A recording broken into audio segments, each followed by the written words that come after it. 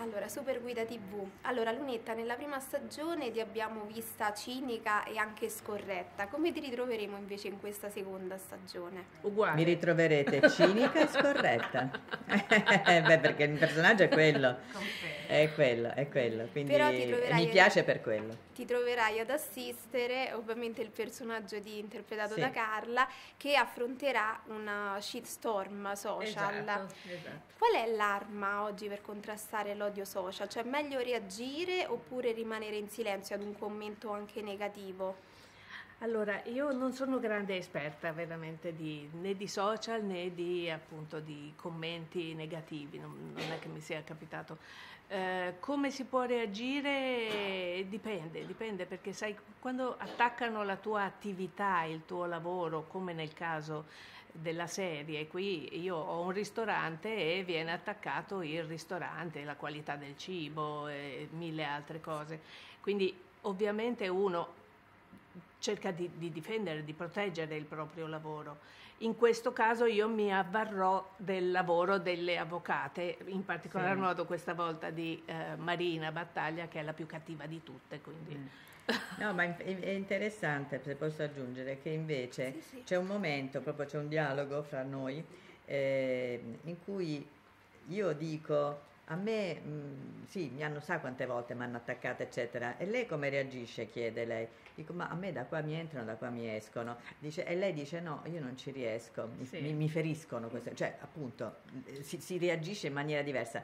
Però Marina Battaglia trova un modo per incastrare questi haters, che è un modo eh, confronto, eh, confronto. imprevisto, cioè un po' insolito. Lei trova una strada interessante. Adesso non è che dobbiamo svelare Sì. tutto Sì, no, l'assassino vedremo. no, no, quando ammazzi tutti No. no, no, non lo devi dire, non va bene. No, voglio dire che anche il modo per affrontare legalmente questa situazione sarà ehm, originale, insomma, no? Cioè anche diverso da quello che aveva pensato il socio Zander, quindi anche su questo c'è un bel movimento, diciamo, no? nella storia. Senti Marina, il tuo personaggio si troverà ad affrontare le prime difficoltà della vita adulta. Viola ha più paura di crescere oppure è più spaventata dal futuro?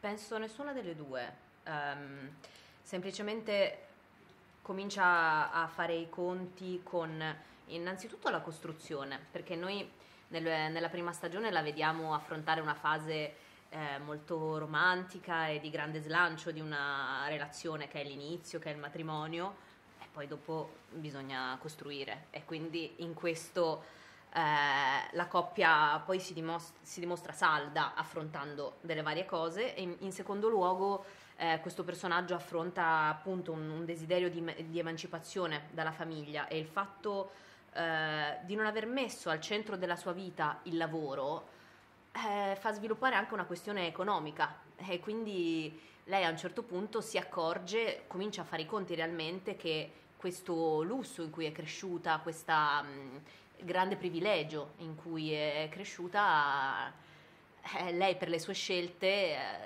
pagherà, pagherà un prezzo, quindi dovrà eh, fare i conti con il mondo del lavoro, con il mondo degli affitti eh, in una città in cui purtroppo certo. in cui quella fascia, anzi Mm. questa fascia d'età ha un grandissimo problema soprattutto con queste tematiche. Senti, qual è la prima volta invece in cui tu ti sei sentita indipendente?